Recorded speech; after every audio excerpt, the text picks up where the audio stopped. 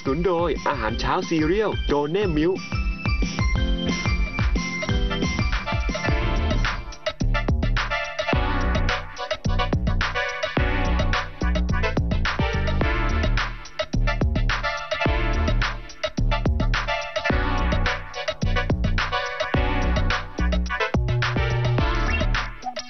บ้านพระรามสีวันนี้นะครับ พาคุณผู้ชมออกมานอกสถานที่มาอยู่กันที่ค่ายพยัคฆ์คินครับที่นี่ใช่ครบค่ะวงจรทุกอย่างเลย อืมต่อยมวยพิลาทิสนะครับออกปีนกำลังกายเขา ปีนเขา ใช่แล้วค่ะ โอ้โหแล้วได้ข่าวว่าวันนี้นะคะ เราไม่ได้มากันแค่สองคน อ่าได้ข่าวว่าเชิญแขกพิเศษคนหนึ่งสาวสวยที่เคยไปรายการบ้านพระรามสี่เร็วๆนี้มาแล้วด้วย ถูกต้องครับถ้าให้ลิสต์นะฮะ ทั้งเสียงดี อ่าเซ็กซี่อ่าหุ่นกระทัดรัด ค่ะ แล้วก็เวลาเต้นเนี่ยนะอื้อหือมันอื้อหือแบบพี่คะโอ้โหพูดขนาดนี้อะ น้องเรียกว่าเชิญตัวจริงมาเลยดีกว่าค่ะอะพบกันเลยครับน้องหนิมครับสวัสดีค่ะสวัสดีครับเมื่อกี้พี่แอนมันแยกสรรพคุณไปซะเยอะโอ้โหอ่าเขินเลยไม่กล้าออกเลยค่ะ อ้าว มาแล้ว ทักทายแฟนๆกันหน่อย สวัสดีค่ะ หนิมคนึงพิมพ์ค่ะ Different times of things, we're trying to get ahead. Everybody wants wings. ถามก่อนเลยค่ะช่วงนี้เป็นยังไงมายังไงบ้าง เห็นบอกว่ามีทั้งเพลงด้วยแล้วก็ออกกำลังกายตลอดเวลาเลยใช่เอาเรื่องเพลงก่อนผลงานก่อนตอนนี้ล่าสุดเลยซิงเกิลล่าสุดเพลงแก้บนค่ะ อ่า เป็นเพลงใช่ลูกค่ะทุ่งสนุกสนุกอยากจะพาเธอไปแก้บนอยากจูงมือเธอไปแก้บน อ่าแล้วก็มีภาพยนตร์เรื่องลูกทุ่ง Signature ด้วยนี่นานเป็นไง บ้างคะได้รับกระแสตอบรับออกมาเป็นไงโอเคไหมคะนั่นสิ ดีค่ะ ดีทั้งสองอย่างเลยรู้สึกดีใจมาก บทบาทอืมไม่ใช่ตัวจริงเลยนี่ค่ะ เป็นบอกเล่นเป็นแบบว่า เล่นเป็นแฟนคลับพี่ชาคริตค่ะ อ่า ที่ชอบพี่ชาคริตมากถึงแบบขนาดเขียนจดหมายไปขอเขาแต่งงาน อ่าอ่าอ่าอ่าอ่าแล้วก็แบบเพ้อบอกรักเขาตลอดเวลา ใช่เขียนจดหมายไปหาเขาด้วยนะแกเขียนว่าอะไรอะขอเขาแต่งงานอะ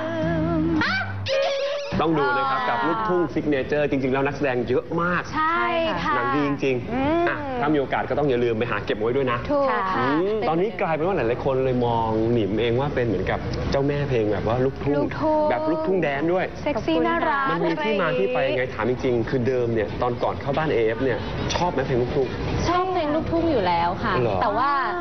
แต่กว่าจะมาเริ่มร้องเพลงลูกทุ่งได้นี่ก็ตอนอายุ 14 นะคะสิบสี่จริงๆ ชอบมานานแล้วแต่ไม่กล้าแบบ ไม่กล้าบอกเพื่อนไม่กล้าบอกใครว่าเราเราชอบเพลงลูกทุ่งด้วยความมันเป็นความเป็นลูกทุ่งแล้วเราดูเป็นเด็กยุคเราใหม่กลัวเชยใช่อ๋อเดี๋ยวๆๆมากย้อนกลับไปตอนนั้น ใครที่ร้องเพลงแบบลูกทุ่ง เพื่อนๆเขาแบบสตริงแบบป๊อปแดนซ์ใช่บอยแบนด์เกิร์ลกรุ๊ปกัน เพื่อนก็จะแบบว่าเฮ้ยร้องลูกทุ่งจริงเหรออะไรอย่างเงี้ยชอบเหรออะไรอย่างเงี้ยเราก็จะแบบไม่กล้าบอกเขาแต่ว่ามันมีจุดเปลี่ยนตรงตรง ครั้งหนึ่งเราได้ดูละครค่ะช่องอ่า สามเนี่ยแหละ ช่องสามเนี่ยนะ ใช่ใช่สาวน้อยคาเฟ่ค่ะดูแล้วเป็นยังไงอ่าพี่จอยเล่นแล้วเราเห็นอ่าแบบ เฮ้ยดาราเขาเป็นนางเอกอะอ่า เขายังร้องเพลงลูกทุ่งเลยอะเลยดังมากดังด้วย จากพี่จอยเสร็จต่อมาอีกเรื่องหนึ่งเป็นพี่เบนซ์จำได้พี่จำได้แบร์โอ้โหนั่นก็ดังอัมาก ดังมากๆเลย คืออัลบั้มสองสอง ดารานักแสดงเนี่ยพี่จอยกับพี่เบนซ์เนี่ยเออ หนูร้องได้ทุกเพลงเลยโอ้โหใช่เฮ้ยดาราเขายังร้องเพลงลูกทุ่งเลยแปลว่ามันไม่เชยนี่หว่าอะก็ไม่เชย ก็ก็เริ่มหัดร้องเพลงลูกทุ่งตั้งแต่นั้นมา จนกระทั่งได้มาเข้าอยู่ในบ้าน เข้าใน AF บ้านเอใช่ฟค่ะ เป็น AF5 ใช่ค่ะ จริง ๆ ตอนนี้อย่างซีของเราพี่ปอ นั่นก็ไปแนวลูกทุ่งหมดเลยนะ ชัดเจนโจ๊ะเลยนะ อืม แนวโจค่ะน้องปอ เออเห็นบอกว่าเวลาที่ไปออกงานคอนเสิร์ตไปทงเวทีก็ไปกันด้วยกันนี่แหละ ไปด้วยกันค่ะอ่าส่วนส่วนใหญ่เลยก็สนุกดีค่ะ อย่างนี้ก็ต้องมีขวัญใจอืมในลูกทุ่งที่เป็นเหมือนกับเป็นไอไอดดออลลของเราอ่าอ่าใช่ชอบชอบพี่พึ่งพุ่มพวงดวงจันทร์โอ้ค่ะกับพี่ฝนธนสุนทรระดับเจ้าแม่เลยแหละนะฮะของวงการลูกทุ่งเลยทุกคนค่ะทุกคนต้องชอบต้องชอบอยู่อะแล้ว ไม่ธรรมดาได้ข่าวว่าชอบออกกำลังกายด้วยอ่าก็มีบ้างออกกำลังกายยังไงบ้าง ก็มีเข้ายิมค่ะอืมเข้ายิมไปไปวิ่งเดินเร็วบ้าง ปั่นจักรยานไม่ค่อยไม่ค่อยเหรอ เพราะว่าเห็นเขาบอกว่านักร้องนี่ปอดต้องแข็งแรงจริงไหมคะอ่ามัมันต้องไปฝึกอะไรเป็นพิเศใช่ษเลยพวกกล้ามเนื้อพวกอะไรอย่างเงี้ยค่ะ มันก็จะ support เรื่องการร้องเพลงคือสังเกตว่าถ้าเกิดว่าช่วงไหนที่เราไม่ได้ออกกำลังกายเนี่ยจะร้องเพลงไม่ดีเลยเสียงมันไม่จริงหรือไม่เปล่าค่อยออก ถ้าเกิดว่าเราเราไม่พยายามฝึกฝึก กล้ามเนื้อฝึกปอดฝึกอะไรของเราอย่างเงี้ยมันก็จะแบบมันก็จะเหนื่อยพอยิ่งอายุมากขึ้นก็จะแบบเหนื่อยง่ายกว่าเดิม นะฮะหันมาทางนี้เลยนะฮะ แต่เดี๋ยวก่อนวันนี้เรานัดเจ้าของค่ายมวยแห่งนี้เอาไว้พร้อมกับจะมาคุยกันหน่อยดีกว่านะครับใช่ต้องแต่ถามก่อน ยังไงยังไง เคยต่อยมวยไหมคะเคยไหม ต่อยมวยอะคะเอาไม่ใช่ต่อยคนนะ เอาต่อยมวยอะต่อยมวย ต่อยมวย ไม่ไม่ค่อยเท่าไหร่ค่ะไม่ค่อย อาจจะมีแบบลองเล่นกับเทรนเนอร์ที่ฟิตเนสบ้างอะไรอย่างเงี้ยอ่า เพราะฉะนั้นวันนี้เราเตรียมครูพิเศษมาช่วยสอนให้เลย อ้าวเชิญพี่จีครับ สวัสดีครับพี่จีครับมาเลย เชิญทางด้านนี้เลยค่ะ นี่แหละหนุ่มหล่อเข้มที่จะจิตตรงกลางเลยครับพี่จิครับ สวัสดีค่ะ มาเลยครับแนะพี่นำจิแนะนำกันหน่อยครับ แนะนำตัวก่อน ครับชื่อจิ ที่มาที่ไปยังไงคะอืมทำไมถึงชื่อนี้อ๋อพยัคฆ์ ใช้ชื่อนี้เลยพยัคฆ์คิม จริงเท่ๆยักมากษ์คินแปลว่าเสืออ่าว่านึกถึงแบบศิลปะไทยอะไรอย่างเงี้ยอ่า อ๋อพยักษ์มันสื่อได้ชัดเลยใช่ไหมแล้วก็พอดีมีเพื่อนที่แบบหุ้นกันอ่า ลูกชายเขาชื่อคินค่ะ เพื่อนหุ้นกันลูกชายชื่อคินใช่ พี่ซันนี่มีลูกแล้วเหรอครับไม่ใช่ไม่ใช่ไม่ใช่ค่ะอันนี้อ้าวหุ้นส่วนพี่ซันนี่ไม่ใช่เหรอนี่คนหนึ่ง อ๋อมีอีกคนนึกว่าซ่อนไว้ โอ้โห อีกคนนึงก็เลยเอามารวมกันเหรอคะก็เลยหรือยังไง เอ่อเราชอบคำนี้อ่าค่ะอ่า เพราะดีมีชื่อคินมันดูมีความหมายคินด้วยก็แล้วมันดูไทยๆได้ด้วยนะ มันดูแบบเข้ากับเกี่ยวกับเรื่องของการต่อสู้หรือเปล่าคะฟังชื่อแล้วดูแบบฮึกเหิมอะนะนะแข็งแรงแข็งแรงอ่าอะวันนี้เรามาที่นี่เดี๋ยวหลายคนเข้าใจผิดว่ามีเฉพาะค่ายมวยครับมีอะไรบ้างเอ่อเรามีปีนเขาปีนเขานะครับ แล้วก็มี อ่ามวยไทย อืมมี body activity อืม crossfit อะไรอย่างเงี้ยนะครับอืมค่ายฟิตเนสอ่าค่ะนะครับ แล้วก็มีพิลาทิสกำลังจะโอ้ พิลาทิสกำลังจะเปิดคลาสกัน แล้วที่มาทำค่ายมวยเนี่ยมีวัตถุประสงค์มีจุดประสงค์ไงทำไมถึงต้องมาทำค่ายมวยนั่นสิ เออ เพื่อนๆกันเนี่ยอืมพูดกันว่าเอ่อเอ่อนักมวยนักมวยไทยอะไรเงี้ยฮะเอ่ออายุ หมายถึงว่าอายุของอาชีพนักกีฬาเนี่ยมันสั้นกว่า มันสั้นจริง ใช่หมดในแล้วก็เรื่องของอายุก็เปลี่ยน คือมีปัญหาเรื่องการว่างงานอืม อะไรอย่างนี้เกิดขึ้นมีปัญหาค่ะ ใช่ไหมฮะเราก็มองว่าอยากส่งเสริมให้นักกีฬาเนี่ยมีอาชีพอืม มันเป็นสามารถที่จะมาเป็นเทรนเนอร์ได้อ่า สามารถที่จะเติบโตได้อ่าตอนนี้เขาเคยบอกว่าแบบอะไรที่ส่งเสริมให้คนทำความดี ส่งเสริมคนออกกำลังกาย ค่ะ ส่งเสริมให้คนมีอาชีพอย่างเงี้ยเป็นอืมความดีไงเขาบอกความดี ทำดียังไงก็ไม่ไม่เจ๊งมันจะต่อยอดความดีไปเรื่อย ๆ ด้วยพี่ใช่ซันไหมนี่คะนี่นี่ในจอแล้วนอกจอจริงๆนะเอ้ยอย่างนี้มาที่นี่นี่ต้องมีแบบมาปรึกษาล่วงหน้าว่าอยากเล่นยังไงให้บอดี้หุ่นเป็นแบบนี้อะไรได้ไหมคะสาวๆอะไรอย่างเงี้ยมีหลายแบบค่ะ บางคนก็อยากมาเหมือนผู้ชายอย่างนี้อยากได้ค่ะ ศิลปะป้องกันตัว อ่าติดตัวไว้หน่อย แสดงว่าสอนจริงจังเลยใช่ไหมคะ ก็มีแล้วก็อ่าผู้หญิงอยากหุ่นดีก็มีอืม อยากลดค่ะ น้ำหนัก อย่างผู้หญิงบางคน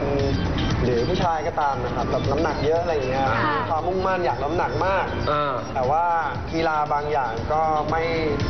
ไม่สนุก อ่า ก็บางทีไม่เหมาะกับเขาและกับร่างกาย มวยไทยสำหรับเด็กก็มีอ่าอย่างนี้ก็จะมีคุณครู โอ้โห คอยเทคือรเรานอมียู่ข้างๆเลวิยทยาศาสตร์การกีฬานี่ แรกก่อนเป๊ะเลย แล้วก็อะ มีเทรนเนอร์ที่เป็นมวยไทยอาชีพที่แบบว่ามีชื่อเสียง ก็คือนักมไม่วยเนี่ยใช่แหละ เล่นๆนะนี่งั้นถามนิดนึงฮะวันนี้เราเชิญน้องหนิงมา อ่า จริง ๆ หุ่นดีอยู่แล้ว อย่างนี้ต้องมาฝึกอะไรเพิ่มเติมครับ ก็จริงๆ เป็นกีฬาสนุกสนานได้อ่าแล้วก็แบบเรื่องความแข็งแรงสุขภาพอะไรเงี้ย อ่า วันนี้ พี่จิเตรียมคอร์สไหนมาฝากเราสามคน ก็เดี๋ยวแบบครบเซตเลยละกัน ครบเซตเลยเหรอคะยังไงบ้างครับพี่จิครับ ก็มีเอ่อเริ่มจาก body activity ก่อนอ่า ค่ะนะครับ แล้วก็จบจาก body activity ก็เข้ามวยไทยอืมตัวต่อตัว ตัวต่อตัว แล้วก็จบด้วยโดนต่อยเอ่อ crossfit อ่าแต่ว่าอาจจะมีเอ่อปีนเขาเข้ามาเพิ่มด้วย อ่าได้ เดี๋ยวจัดดูกัน คนละอย่างคนละอย่างเผื่อมีโอกาสจะได้แบบว่าให้มันครบและทั่วถึงนะครับค่ะ อ้าวที่นี่ค่าเรียนเป็นยังไงบ้างเขาอยู่บนห้าง คือจริงๆ ที่นี่จะเป็นลักษณะ membership อะนะครับอืมก็คือคนที่เข้ามาต้องเป็น membership ก็มีอ่าค่า membership แรกเข้า ครับ อืม แต่ว่าจ่ายค่า membership แรกเข้าสมมติจ่าย 2,500เนี่ย อ่า เราจะได้นวมหนังแท้คู่หนึ่งอ๋อ ผมอยากกินมวยไทย ได้อุปกรณ์ด้วย ใช่ แล้วก็อาจจะแลกเล่นได้ค่ะ นะครับ แล้วก็มี เหมือนรายเดือน อะ เดือนละ 1,000 บาท อืม 12 เดือนเป็นเป็น member นะครับ ค่ะก็อ่าแลกเล่นได้ประมาณ 10 กว่าครั้ง อะก็คือสมัครเป็นค่าแรกเข้า 18แล้วก็ค่าครั้งอะไร member ค่าบริการแต่ละเดือน แล้วก็เวลามาก็หักไป ใช่พอครบ พอครบคือเราเป็น member อยู่แล้วครับ ครบเนี่ยซื้อแพ็กเกจต่อเนี่ยก็ประมาณคอร์สละ5,000ก็ลดลงมาอีกอ๋อคือต่อครั้งจำนวนต่อครั้งจะอยู่ที่ประมาณ5-600บาอะทตอนนี้เราพร้อมแล้วครับแหมพี่ติครับ เดี๋ยวจัดคุณครูมาสอนให้ได้ ค่ะ เห็นบอกเป็นนักมวยด้วย ใช่ครับ ชื่อดังเลยนะ มีทั้งนักมวยทั้งนักวิทยาศาสตร์โอ้โหโอ้โห เรียกว่าคำนวณกันก่อนว่าส่วนไหนควรลดแล้วก็เล่นท่าไหนอะไรอย่างนี้เลยใช่ไหมคะหนิมพร้อมไหมครับ พร้อมค่ะ พร้อมแล้วนะพร้อมมากค่ะอ้าวเดี๋ยวจัดเลยครับ สักหนึ่งยกครับ เอาไป warm กันก่อนครับสวัสดีใช่ครับค่ะณสโตวัสดีค่ะ การ warm ต้องมีส่วนไหนอะไรไงบ้างโอฮะเคเริ่มต้นก่อนนะครับเราจะเริ่ม warm จากการเคลื่อนไหวแบบเดินนิดก่อนอะทำให้กล้ามเนื้อข้อต่อต่างๆมีความร้อนเกิดขึ้นอ่าแค่ยืดเหยียดได้ง่ายขึ้นแล้วก็อะ หลังจากนั้นเราก็จะยืดแบบ static คือแบบทำให้แบบกล้ามเนื้อตึงตัวยืดตัวคลายตัวง่ายขึ้นเลย ก็คือง่าย ๆ คือพวกข้อตรงข้อต่อทั้งหลาย ใช่ครับ ให้มันเคลื่อนตัว ยืนจากนั้นก็ทำให้กล้ามวอร์มก่อนเพื่อจะไปต่อยมวยอีกทีหนึงให้มันมีแรง ใช่แล้วครับเพื่อให้ลดการบาดเจ็บที่จะเกิดขึ้นในการออกกำลังกาย อะไม่รอช้าลุยเลยครับครูครับ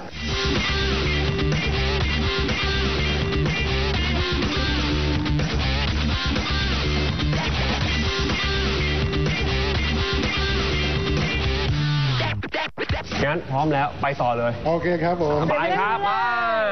แนะนำตัวก่อนดีกว่า ครับผมครับคุณนัทนะครับก็ใช้ชื่อขโมยก็เจริญศิลป์พุ่มพันธ์ม่วงนะครับ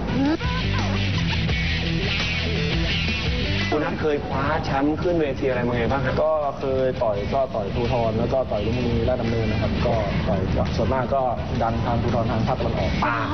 วันนี้จะมาสอนเบสิกหรืออะไรยังไงฮะ อ่าวันนี้เริ่มเลยดีกว่าไหมคะคุณนัท อ่ามวยไทยก็เริ่มจากเบสิกก่อนเลยค่ะอ่ามาเลยนะครับอ่าครับผม ทำตามคุณนัทเลย หมัดจะมีหลักๆอยู่หกหมัด เริ่มต้นที่หมัดซ้ายนะครับ หมัดซ้ายคือแยบแยบปุ๊บสุดแขนเลยอ่าหมัดขวาคือขวาตรง ขวาตรงคือเอี้ยวสะโพกช่วย ปั๊บไปอย่างเดียวไม่ต้องก้าวอันนี้คือจะได้หัวไหล่ฮะ แล้วก็ลดต้นแขนเราด้วย ต่อไปมาลงด้านลงขาบ้างลงขาบ้าง อ่า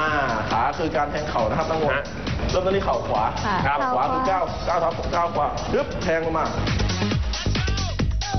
ต่อไปเป็นการก้าวเท้าแทงเข่าซ้ายแทงเข่าซ้ายนะฮะ ก้าวเท้าขวาไปถึงก้าวปั๊บครับปึ๊บแทงเข่าซ้ายปึ๊บปล่อยมือซ้าย อ๋ออ่อ่าลงมาที่เดิมปึ๊บอ่าเข่านี่คือได้ต้นขาด้วยฮะค่ะ อ่าแล้วก็ก็เป็นหมัดจะได้ต้นแขนลองเป็นการเตะเตะเลยแต่นะครัยังไงคะ ลองเตะโอ้โหอ่าโอเคขยับนิดนึงอ่าได้เลยฮะอ่าเหมือนเดิมยืนเหมือนเดิมอ่า ปึ๊บเตะขวานะครับครับเบี่ยงปากไปปึ๊บสุดขาเรา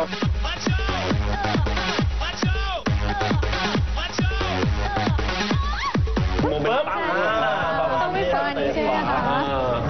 ลองศอกขึ้นมาบนบ้างกลับมาด้านบนเป็นการฟันศอกนะครับมวยไทยคือเป็นอาวุธที่อันตรายที่สุดของมวยไทยศอกเนี่ยเหรอคะรับศอกผู้ต่อสู้น็อกก็เพราะศอกเพราะมันไม่มีนวมพุ่งอ่าเริ่มต้นเลยกระดูกล้วนๆอันนี้คือศอกฟันครับกระดูกล้วนๆเลยฮะโอเคฟันปั๊บอ่าก้าวเท้าซ้ายหนึ่งก้าวปั๊บฟันปุ๊บปุ๊บกลับมาที่เดิมศอกซ้ายเหมือนกันอะซ้ายก็ก้าวขวาอ่ก้าวก้าวขวาก็ได้ครับก้าวขวาเหมือนกันปึ๊บอ่าอันนี้คือศอก ฮะ นั่นแหละที่น้องน็อกกันคือศอกสำคัญที่สุดครับดูท่าซ้อมกันหลายหมัดแล้วครับอยากเห็นน้องหนิมได้ลงรวมกับครูอ่าอ่าส่งไปเลยใช่ไหมคะส่งเลยชื่ออะไรนะคะเมื่อกี้ที่พี่อามตั้งไว้ อะอะไรนะสิทธิ์อะไรนะอันหนึงพิมพ์สิทธิ์พยักคิมนี่ลุยเลยดีกว่าเอา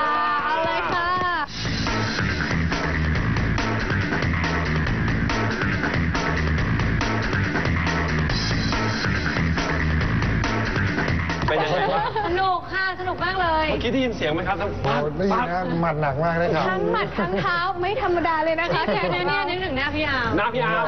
ตายแล้ว ถ้าท่านผู้ชมทางบ้านสนใจอะคะ ให้มายังไงให้พี่โตโต้ฝากได้เลยครับอ่า โอเคเออวันนี้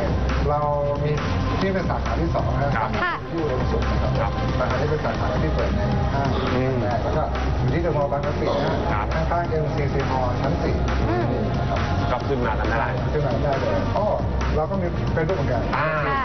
พยัคฆินทร์ พยัคฆินทร์มวยไทย ลอง search ดูใช่ครับ แล้วเข้ามากันได้ ครับใช่เลยเวลาห้างเปิดเวลาห้างปิดใช่ครับปเริ่มกต้นติตั้งแต่10โมงจนถึง4ทุ่มเลยครับต้องถามสาวคนนี้นอกจากสนุกกันแล้ว ผลงานที่เราสามารถติดตามมาได้ครับหนิยังไงมนะคะก็มีเพลงแก้บนค่ะซิงเกิลใหม่ก็เดี๋ยวคงมีซิงเกิลออกมาเรื่อยๆนะคะ อ่าต้องรีบไปดูกัน เดี๋ยวขอตัวไป warm down ซะหน่อยหนึ่งก่อนใช่ อะแล้วเดี๋ยวค่อยกลับมาเจอกันในบ้านพระรามสี่ครับค่ะ ครับ อะมาขอบคุณครับขอบคุณครับ อ่า